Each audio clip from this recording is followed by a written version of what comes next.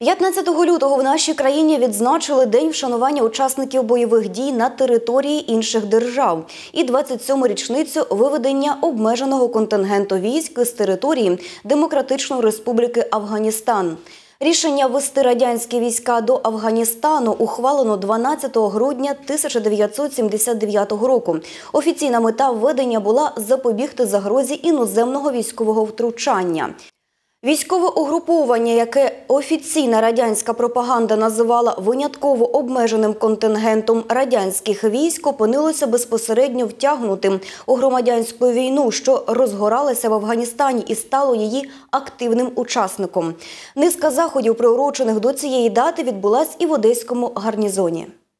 27 років тому, 15 лютого 1989 року, закінчилась одна з найдовших і трагічних війн другої половини ХХ століття – війна в Афганістані. Найважчим підсумком афганської війни стала загибель наших солдат і офіцерів, скалічені долі молодих людей, і гіркота споменів про бої, кров, втрати та рани.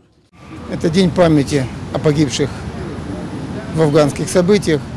Это день окончания ну, истребления молодежи. Ну, Мы вот ходим по школам, выступаем, рассказываем детям, что такое война.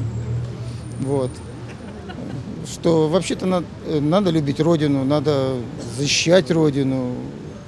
Ну, потому что мы как бы поколение, которое продолжило Великой Отечественной войны, а они уже пускай продолжают нашу и защищают нашу Родину от, вне, от внешних врагов. В Одесі в цей день пройшли молебні за загиблими. Учасники тих подій, родичі загиблих, під звуки оркестру рушили колону від Свято-Ільїнського монастиря до центрального парку культури та відпочинку імені Тараса Григоровича Шевченка. Біля пам'ятника воїну-інтернаціоналісту, члени спілки воїнів-афганців, самі воїни-інтернаціоналісти, представники міської та обласної влади, командування військово-морських сил Збройних сил України, південного оперативного командування, повітряного командування Південь, Національної гвардії України та громадськість віддали данину пам'яті загиблим воїнам та поклали вінки і квіти до підніжжя монумента.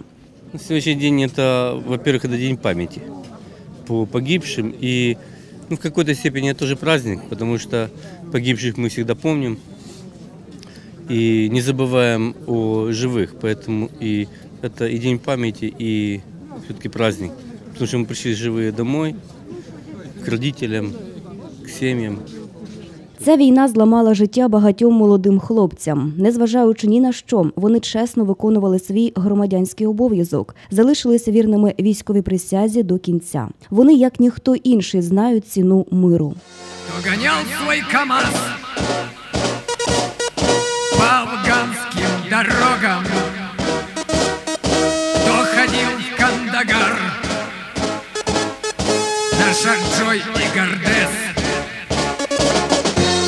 нам скажет, что видел, что сердцем потрогал, испытал все, что смог.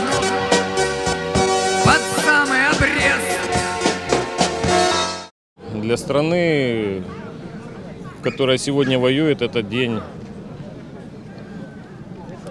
рассматривается как день памяти всех воинов.